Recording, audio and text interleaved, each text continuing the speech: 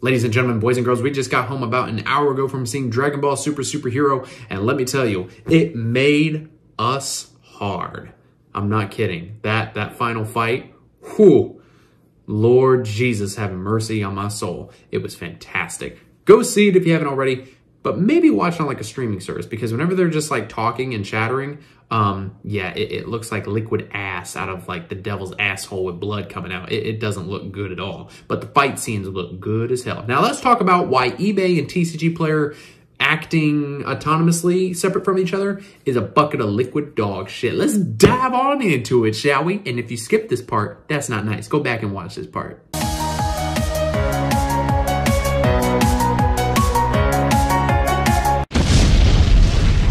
Get hard as you hit the subscribe button so we can get to over 900 and eventually 1,000 subscribers. I didn't actually throw it. And if you skip that intro, because I know some of y'all just skip those kind of things, I'm looking at you, Big Bruce 94. Go back and watch it. I think you'll get a good laugh out of it. But subscribe so that we can get to the 1,000 ladder. Be sure to watch the video all the way through because you're going to miss some juicy information. Don't just skip to where I'm talking about something. Watch it all the way through, then make a comment. I see those analytics. So let's talk about today why eBay and TCG Player coming on together, that is coming on in, is not a good thing based upon how they worded things in this article. So let's just dive on into it and we'll discuss as we go along. So they say here today we announced TCG Players has signed a definitive agreement to join forces with eBay. You may read media headlines over the next few weeks to say eBay to acquire TCG Player. While this is technically accurate, unlike a traditional acquisition upon close, TCG Player will continue operating independently.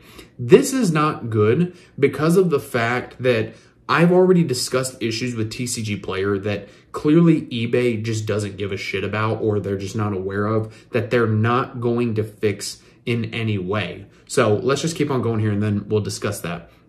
Uh, we will have the autonomy and flexibility to continue running TCG Player just as we always have, and I will continue to lead the company as CEO, ensuring our commitment to you and the entire collectibles community remains enshrined and protected long into the future. Does that include getting rid of OCG Korean, Vietnam, Japanese, and I believe also Portuguese fucking listings? It doesn't? Okay, then I'll, I'll just go screw myself.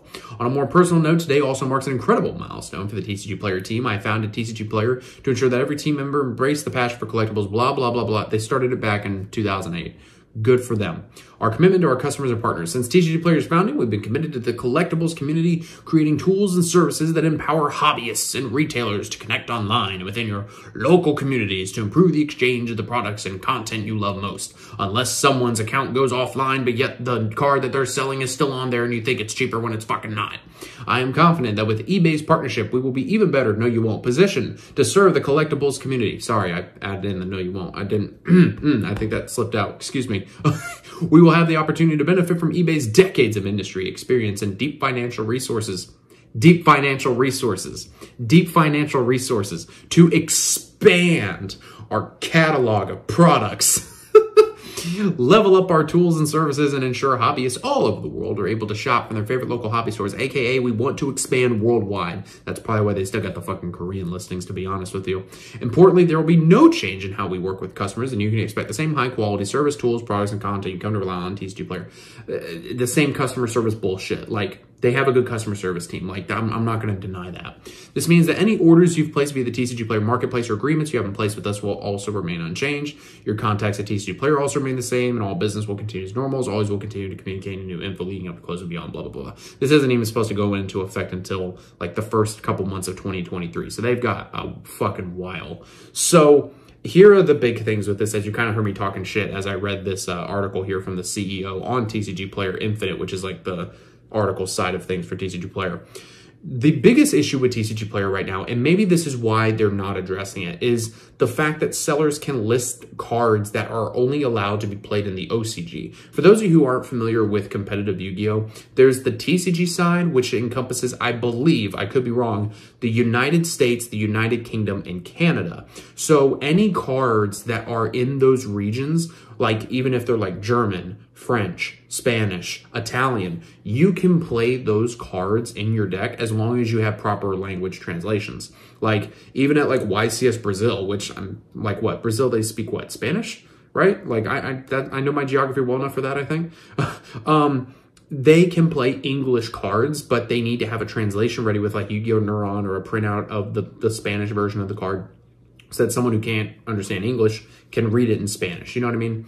Well, in the OCG, which is known as the official card game, TCG is trading card game, they have different countries that have their own language of cards and things like that. And they're actually, some cards are printed differently. Like I, I, I think I still have it. It's a Japanese Zoodiac Tigermortar and it's a common, but it has more of a glossy feel to it. Like if you're an OG and you remember like the Hobby League cards from back in the day, how they had that glossy feel on the front, it was like that, but it was on a common and it was felt really glossy. And they also had the different like OCG Yu-Gi-Oh logo on the back of the OCG cards.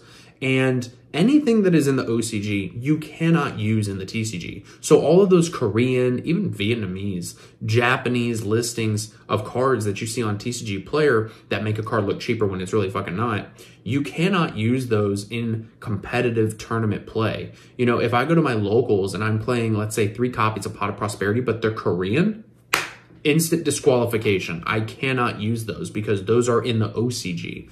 And we actually, at least I remember this back in the day around like 2010 when Duelist Revolution came out and we had Pot of Duality. Well, we got kicked in the dick hard because Konami printed Pot of Duality as like a super rare or a rare or something in the OCG when it first came out there. And we got it here as a secret rare and it was over a hundred fucking dollars. Yeah. It, it, Pot of Prosperity is the new trend for that.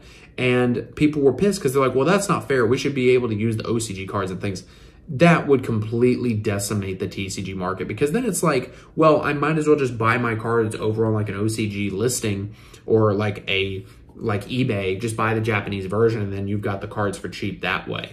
You know, there's a reason why if you go like even I think right now you can find Korean listings of Pot of Prosperity on TCG Player there's a reason why those Korean listings are like 20, 30, 50 bucks even, which you're trying to fucking rip somebody off if you're listing it for 50 fucking dollars. I'm sorry um, but you cannot use those. And so, you know, little Timmy, who's got an allowance of like $20, goes on there and buys, like, let's say a Starlight Rare Dark Charmer and wants to play it in his deck and then he drops it out and everybody's like well you fucking lose because you can't use a korean card. Like yeah you got a starlight that looks cute boo boo but you can't use it. You just lost $50 and then god forbid like you don't find that out till a fucking month after you buy it and then you got to go to tcg player and say i can't use this in a tournament. What do i do? Like are they going to give you a refund a month after you buy the card? Probably not.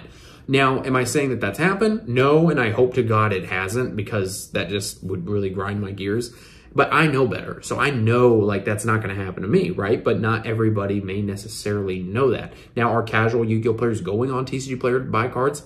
Maybe not necessarily, but even if they're going on something like eBay and they see like a Korean listing of a card that they want for like $2, they're going to go and spend the $2 and get the card. Yeah, if they're casual, they may not be going to tournaments, but what if when they, they want to and they want to use those Korean cards they bought? Well, they wasted their money. So TCG Player needs to be working hand in hand with eBay in this sense that they'll fix this. And maybe with them, at least how the CEO worded this this uh, this article, maybe they want to go worldwide and that's why they have those Korean listings, those Japanese listings, so that those markets will go on to TCG Player and give them their money to get those cards from American sellers or Japanese sellers, whatever. And you know, maybe maybe that is the case. But if it's not the case, they need to fix that. The other thing that they need to fix as well is uh, sellers taking their storefront offline, but their cards still being shown as being listed for sale. I saw this as a huge issue with Shiba Warrior Taro when Kazuki Takahashi first passed away, God rest his soul. And the card that he had put in the anniversary pack from years ago, and it was a card called Shiba Warrior Taro that was literally his dog, like in a monster card form. And it was like 70, 75, 80 bucks at the time. And there was one listing for like $45.86 for a light play. Well, when you tried to click on it to buy it from the seller, once you went to go check out, it'd say, oh, this seller's offline. Fuck you. And his, his card is being listed there as for sale, but his actual storefront is offline. So it looks like the card's $45 and once it's gone, it goes to 70, but it's already gone. And so I don't know if it's a glitch on TCG Players End. I don't know if it's the asshole who left his storefront up and just didn't take it down because he wanted to be a trolling prick. But that is something else that needs to be fixed. Like honestly, it's it's so annoying. They have made fixes in the past, which is why I don't know why they don't make these fixes because they clearly have the know how to do it. Like I remember several years ago when Dragonic Diagram went to like one or three or something, and people were swiping them off the market, and they were like 20, 30 bucks. And some ass muncher was selling one for like a penny with like $2 shipping. But then it was something where like you had to buy another item to like get it shipped to you. So he's selling ghost beef, which is a shitty vanilla pendulum monster for $300. And it's like, bro, you're, you're a dickwad. Like go touch grass. So uh, they have fixed issues like that. I don't know why they won't fix shit like this, but it's it's just something that you need to consider. The main thing I worry about moving forward is if we're going to see more OCG card listings on TCG Player and if we're going to start seeing more of those on eBay. Like, yeah, they're going to have pictures on both TCG Player and eBay usually, but it's still just something I don't want on my fucking storefront. Even whenever I have English like as a filter and they still pop the fuck up. Maybe that's a glitch, but either way, it needs to be fucking fixed. So, guys, let me know what you think down in the comments below. Thank you so much for watching. Go see Dragon Ball Super Superhero, because it definitely made me hard. It was so good. And, uh, yeah, I'm going to probably uh, try and go to sleep now, because I'm tired as hell, and it's after midnight. Thank you guys for watching, and I will see you in the next video.